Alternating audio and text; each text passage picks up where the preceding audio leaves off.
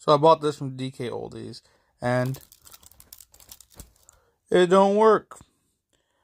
Bought other games, they do, but this one doesn't. The game I actually want. Go figure.